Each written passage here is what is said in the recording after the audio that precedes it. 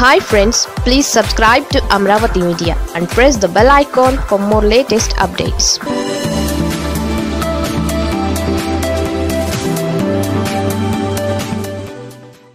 ఆ మాట చంద్రబాబుతో జత కడుతున్న పవన్కు చెప్పండి. జోగయ్యకు మంత్రి గుడివాడ లేఖ. రాష్ట్ర రాజకీయాలు తెలుగుదేశం పార్టీ జనసేన పొత్తుల వ్యవహారాల చుట్టే తిరుగుతున్నాయి. ఇదివరకే టీడీపీ అధినేత ప్రతిపక్ష నాయకుడు చంద్రబాబు నాయుడిని జనసేన పార్టీ చీఫ్ పవన్ కళ్యాణ్ కలుసుకున్న తరువాత మొదలైన ఊహాగానాలకు తెరపడట్లేదు. ఈ రెండు పార్టీల మధ్య పొత్తు దాదాపు ఖాయమైందనే వార్తలు కూడా వెల్లువెత్తుతున్నాయి. సీట్ల పంపకాలు మాత్రమే మిగిలి ఉన్నాయనే అభిప్రాయాలు ఉన్నాయి.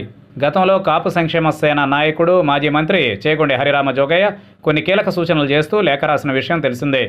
కాపు రిజర్వేషన్ల కోసం ఆయన నిరాహార దీక్ష కూడా చేపట్టారు.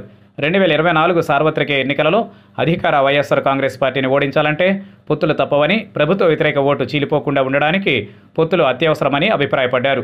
పొత్తులు ఉంటే తప్ప వైసీపీని ఓడించలేమని పేర్కొన్నారు. వైసీపీని ఓడించే సత్తా టీడీపీ జనసేనకే ఉందని ఈ రెండు పార్టీలు పొత్తు పెట్టుకుంటేనే అది సాధ్యపడుతుందని హరిరామ జోగయ్య తేల్చి చెప్పారు.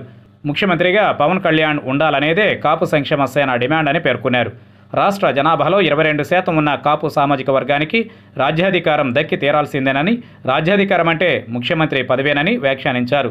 విద్యా ఉద్యోగాలలో రిజర్వేషన్లను దక్కించుకోవాలనేది తమ రెండవ డిమాండ్ అని గుర్తు చేశారు.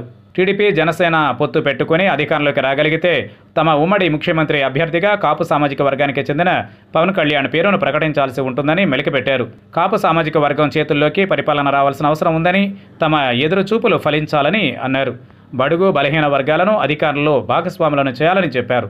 ఈ డిమాండ్ల సాధనే ధ్యేయంగా జనసేన పార్టీకి అనుబంధంగా కాపు సంక్షేమ సేన ఆవిర్భవించిందని అన్నారు.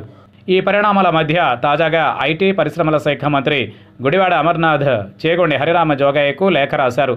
సెటారికల్గా రాసిన సింగిల్ పేజ్ లెటర్ ఇది. గౌరవనీయులైన హరిరామ జోగయ్య గారికి నమస్కారములు అంటూ మొదలుపెట్టిన ఈ లేఖ ఐదే ఐదు లైన్లతో ముగిసింది. కాపుల భవిష్యత్తు విషయంలో చంద్రబాబుతో జతకడుతున్న పవన్ కళ్యాణ్కు రాయవలసిన చెప్పవలసిన విషయాలను పొరపాటున తనకు రాశారని గుడివాడ అమర్నాథ్ పేర్కొన్నారు. హరిరామ జోగయ్య ఆయురారోగ్యాలతో పాటు మానసికంగా దృఢంగా ఉండాలని దేవుడిని ప్రార్థిస్తున్నాను అంటూ ముగించారు. కాపు రిజర్వేషన్ల విషయంలో ప్రభుత్వ వైఖరిని స్పష్టం చేయాలంటూ హరిరామ జోగయ్య డిమాండ్ చేస్తున్న నేపథ్యంలో గుడివాడ అమర్నాథ్ ఈ లేఖ రాసినట్లు తెలుస్తోంది. అంతకుముందు చేగొండి హరిరామ జోగయ్య మంత్రి గుడివాడకు ఘాటు లేఖ రాశారు. నువ్వు రాజకీయాలలో బచ్చావి పైకి రావాల్సిన వాడివి. సాధారణ మంత్రి పదవికి అమ్ముడుపోయి కాపుల భవిష్యత్తును పాడు చేయొద్దంటూ సూచించారు. నీ భవిష్యత్తు కోరి చెబుతున్నానని అనవసరంగా పవన్ కళ్యాణ్పై బురద చల్లడానికి ప్రయత్నం చేయొద్దని సూచించారు. దీనికి అదే స్థాయిలో బదులిచ్చారు మంత్రి.